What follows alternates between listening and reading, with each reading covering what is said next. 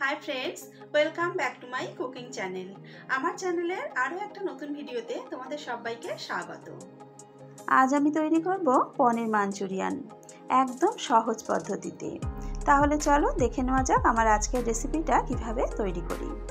আমি এখানে একটা বড় বাটিতে দুশো গ্রাম পনির গ্রেট করে রেখেছি। এবার এই গ্রেট করা পনিরের মধ্যেই দিয়ে দিলাম হাফ কাপ গ্রেট করা গাজর। দিয়ে দেব একদম মিহি করে কুচিয়ে নেওয়া বিনস।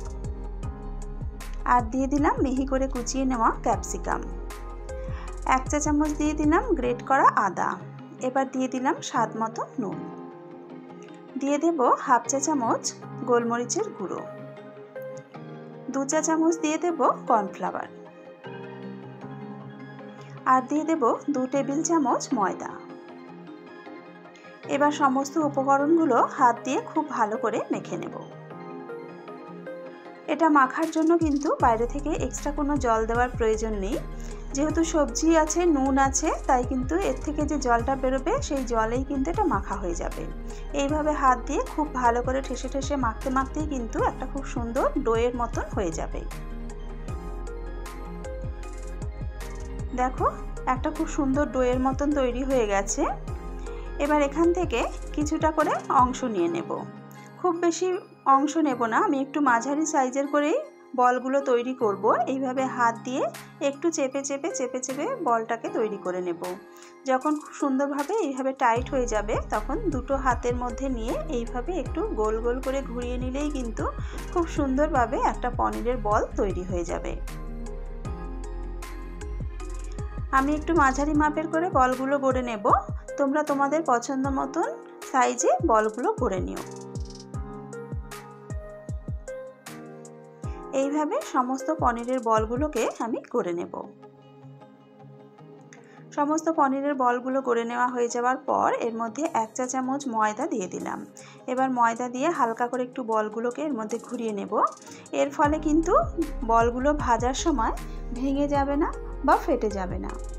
এবার ভাজার জন্য কড়াতে তেল গরম বসিয়ে দিয়েছি। তেলটা খুব ভালো মতন গরম হয়ে যাওয়ার পর পনিরের বলগুলো দিয়ে দিলাম। বলগুলো দেওয়ার পর গ্যাসের আগুনটা মিডিয়ামে করে কোনো রকম নাড়াচাড়া না করে এক মিনিট মতন আগে হতে দেব। এক মিনিট হতে দেওয়ার পর তারপর এইভাবে খুন্তি দিয়ে হালকা করে নাড়াচাড়া করে বলগুলোকে লাল করে ভেজে নেব। দেওয়ার সাথে সাথেই কিন্তু বলগুলো নাড়াচাড়া করো না, তাহলে কিন্তু ভেঙে যেতে পারে। আর নাড়ার সময়ও খেয়াল রাখতে হবে যেন খুব জোরে জোরে নাড়াচাড়া করা না হয়। এইভাবে একটু ওলট পালট করে বলগুলো লাল করে ভেজে নেব। যখন এরকম লাল হয়ে আসবে, শেষের দিকে পাঁচ দশ সেকেন্ড একটু গ্যাসের ফ্লেমটা বাড়িয়ে দিয়ে ভেজে নেব। তাহলে পনিরের বলের মধ্যে যে এক্সট্রা তেলটা থাকবে, সেই তেলটা ঝরে যাবে। বলগুলোকে তুলে নিয়েছি। কড়ায় অনেকটা তেল ছিল, কিছুটা পরিমাণে তেল কমিয়ে নিয়ে দু টেবিল চামচ মতন তেল রেখে তাতে দিয়ে দিলাম এক চা চামচ গ্রেট করা আদা, এক চা চামচ গ্রেট করা রসুন, পেঁয়াজ কুচি আর স্প্রিং অনিয়নের সাদা পাটটা। এবার এগুলোকে হালকা করে একটু নাড়াচাড়া করে ভেজে নিয়ে তার মধ্যে দিয়ে দিলাম ক্যাপসিকাম কুচি। ক্যাপসিকামটা দিয়ে আরও মিনিট খানেক মতন ভেজে নিয়েছি, তারপর দিয়ে দিলাম এক টেবিল চামচ ডার্ক সয়া সস, এক টেবিল চামচ টমেটো সস আর এক টেবিল চামচ চিলি সস। এবার সমস্ত কিছু খুব ভালো করে নাড়াচাড়া করে মিশিয়ে নেব। তারপর জল দিয়ে দিলাম। আমি আজকে গ্রেভিটা একটু বেশি রাখব, তাই একটু বেশি পরিমাণে জল দিলাম। তোমরা যেরকম পরিমাণ গ্রেভি রাখতে পছন্দ করবে, সেই অনুযায়ী জল দিও। তারপর দিয়ে দিলাম স্বাদ মতো নুন আর হাফ চা চামচ দিয়ে দিলাম গোলমরিচের গুঁড়ো। দিয়ে দিলাম স্প্রিং অনিয়নের সবুজ পাটটা কুচোনো। আর দিয়ে দিলাম ধনে পাতা কুচি। এবার সমস্ত কিছু দিয়ে খুব ভালো করে নাড়াচাড়া করে মিশিয়ে নিয়ে মিনিট দুদিনে এটাকে খুব ভালোভাবে ফুটিয়ে নেব। একটা বাটিতে অল্প জলে আমি দু চা চামচ মতন কর্নফ্লাওয়ার গুলে রেখেছিলাম। একটু নাড়াচাড়া করে মিশিয়ে নিয়ে দিয়ে দিলাম। কর্নফ্লাওয়ারটা দিয়ে আবারও একটু ভালো করে নাড়াচাড়া করে নিলাম।